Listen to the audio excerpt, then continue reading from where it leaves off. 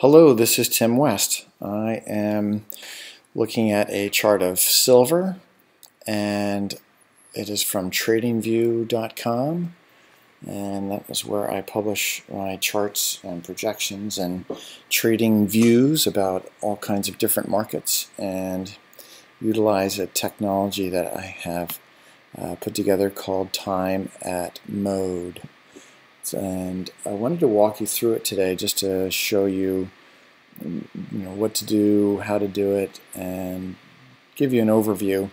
For some it might sound complicated, for others it might sound simple.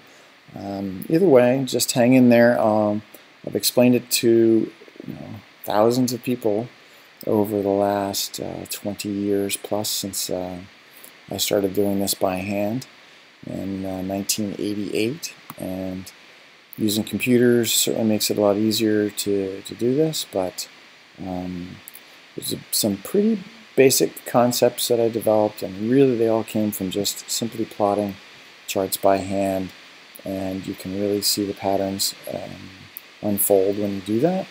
So this great computer program, uh, TradingView, has uh, some really nice powerful functions here and what what we're going to do is analyze how the market has been declining here in silver and try to understand both from a time and price perspective where we think um, you know it's going to bottom and you know that's that's the main goal of this technique.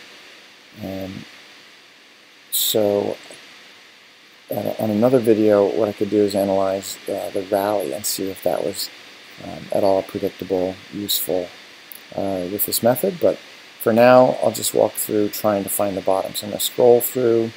So you're just looking at the, uh, the highest high there. And what you do just to walk you through it this way is, um, is you want to look at every price bar as it unfolds. And um, I'm just going to walk you through it right here. So you know this is a downtrend once there's five bars without a new high. So that's true at this point. One, two, three, four, five. So at the end of this bar here, the market's already fallen quite dramatically. Um, but that's where there are no new highs for five periods. Period being the red and green uh, boxes. And those are basically monthly uh, ranges, so actual calendar months. The black bars are weekly bars. So they're sort of in addition to um, the, the price bars. So anyway, sorry. why don't I draw on here um, uh, the concept of finding the mode. So you start from this high here and you start counting. And, and to my eye, I can kind of see this pretty quickly. Uh, but right here in these first number of bars, that's where one, two, three, four, five. So there's six bars actually right here. Uh, using from the highest, you know, two, three. So that's, anyways, there's six bars at this particular price. And note that the market um, comes back to it over here and just sort of bumps against it and then continues on down. Um, so you can kind of call this a 7, but uh, one, let's see what else. Once once we touch here, let's see what happens. One, two, three, four, five, six, seven. So now actually there are 7 definitively down at this uh, level here. See this high uh, picks up on all of those. And I, I don't want to grab the other um, features here. so see the problems that I have using all these tools. Um, so again, we're just walking forward. One, uh, one, two, three, four, five, six, seven. Uh, we go. So now at this point, this becomes the new mode. Right? Three, six. There's actually eight here. So, and then notice how the market uh, comes back up to bump this again in the future. So um, looks like silver is operating very nicely on this time frame, given how it's you know forms a mode, moves away, comes back to test it. Forms a mode, moves away, comes back to test it. It's going to, you know, now form a mode of 12, it looks like, because I've hand drawn on here, there's 3, 1, 2, 3, 4, 5, 6, 7, 8, 9, 10, 11, 12. So right where I have this 12 labeled, there are indeed 12 months um, there. So that is the most time at one price. So once 12 happens, you then get this move away from it, which confirms that you know the market's distributed at this time, at this price, and now it's going to go down for 12. But um, in order to check your work, you can look for, make sure there isn't another level where there's more time. So 1, 2, 3, 4, 5, 6, um, 3, 4, 5, 6, 7, 8, 9, 10, 11, 12. So now there's actually 13 right here.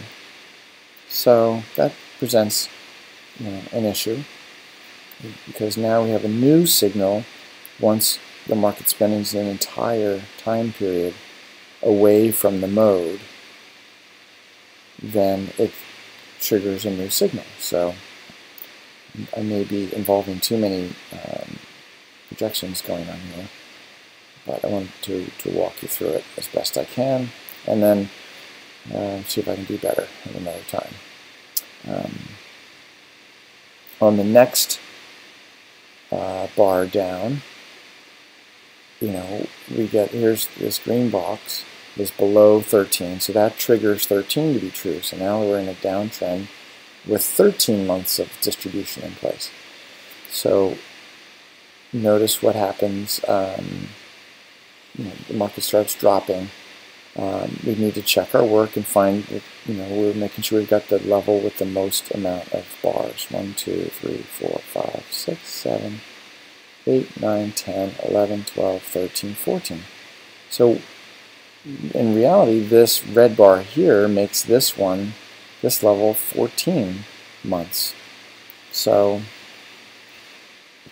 that is uh, you know a new signal. And here's the first month below this 14. So this marks month 1, month 2, 3, 4, 5, 6, 7, 8, 9, 10, 11, 12, 13, 14. So I put a little green box here to designate when uh, 14 months um, uh, times out, basically. I'll delete one of those on the repeat function. So, anyways, that is where you look for uh, 14. Let's next look for um, um, the, the price. What is the price projection you would make um, using this? So, what we do with projecting prices, we look at all the, the price action of the bars that are touching the most frequent bar. So basically we want to start right here. So this is the high of the bar that's touching this mode here. You go all the way over to here and then down. And now we've encompassed the entire range. Now, this is important. We can either just grab this box and slide it down, or we can make a clone of it. So let's just make a clone of it. And you have to grab the edge. This is a new feature. And then we can position it in place. And you do it right from the end the most frequent, um, most frequent price here, which looks like it's 31.55 or so in silver. So it looks like this is explaining very nicely um, you know, where the silver market bottomed. Now, granted it bottomed at a later date than the idealized distribution time. Um, so, I mean, that's not perfect, but at least the price seems to be working nicely. So, um, that would be, you know, a place where you would look for a bottom. Um, you would have looked for a bottom over here in time and say, okay, the market didn't drop as much as it should have, you really would have gotten pretty bullish right in, in this um, zone right here. Because look what happens. Let me just delete this box. You know, time expires. The market didn't drop down to here where you expected it to drop.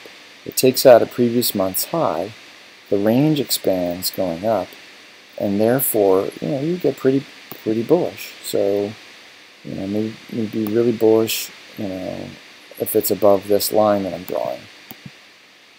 Now, granted, you would have gotten concerned if if silver breaks under this level, and it would break under previous month's low here. It breaks under previous month's low here.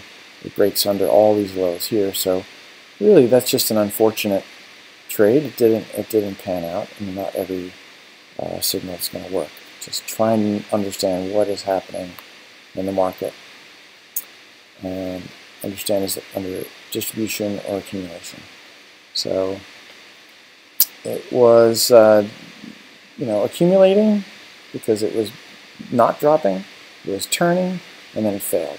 So then, interestingly enough, it, it there is a new uh, 12 period, 12 month time zone here, and um, and that you could use to make new projections but it's not greater than the 14 back here, so that makes it sort of a higher risk uh, setup because you always want to, the highest amount of time is the, is the price that's controlling uh, the market. So this one's you know, not as important as this one, but uh, either way, let's look at it. Here's a nice move out of 12. This whole range is out of 12, you know, out of the out of the mode, and we can measure the price projection and we go from the highest price, which is right there, down to the lowest price, which oddly enough is on in the same uh, at the beginning there of this chart. So there's the range that this market's in. Let me clone this. Oops, I gotta grab right on the edge. and bring it down to the red line. And again, this is where the market should have dropped to in, in 12 periods. We are nowhere near 12 periods right now. Here's, here's month 1, month 2, 3, 4, 5, 6, 7, 8. We're in month 9. So uh, month 12 would be, uh, see, 9, 10, 11 is July, August is 12. Let's put a little box over here for 12. So Quick. Anyways, there's month 12. It doesn't want me to, doesn't want me to put it over there. so anyways, that that little spot is um, you know, where it potentially could go. But um, it also could be turning from here. Remember the, the rule of five. So you have one, two, three, four, five. At the end of this month, without five months with a new low, um, it could be uh, a sign that the trend is turning. Um, or, you know, failing, basically. I would, I would put a, a new trend starting from this low at the end of the month, basically. So that would mean there's a trend in place that's to the upside. There's a trend in place still to the downside. And that's what makes the market a triangle, which it kind of looks like, just like uh, over here, just to throw some other labels on things. And a lot of people are you know, calling this a triangle, but uh, just using the simple terminology of there's a downtrend and an uptrend going on at the same time, you know, sort of forces you into the logic of a triangle as well. So that's what I like about time at mode. Just the simple definition of trend allows you to understand you know, the condition of the market. So um, what I'm looking at here is you do want to see the market be above the um, you want to see the market